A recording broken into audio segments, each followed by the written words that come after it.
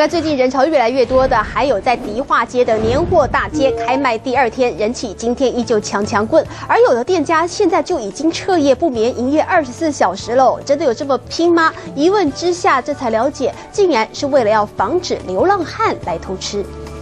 生在这里哦，来喝好喝的黑糖茶。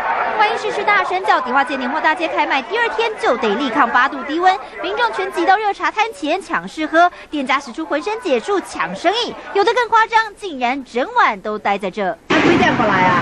我哟，我拢在家，在这里，对呀，在这里睡觉。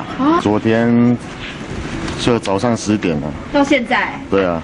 原来是自己做的摊位，就连铁门都没有，年货怕被偷，老板只好整晚自己顾。不过低成本的年货，有的老板倒是很放心，反正也搬不走；有的有绑起来，有的竟然就简单的用尼龙布来盖起来。不过好多布一早发现，早就已经被打开。就是晚上的时候，是不是有流浪汉？加减都会有啦。怎么说？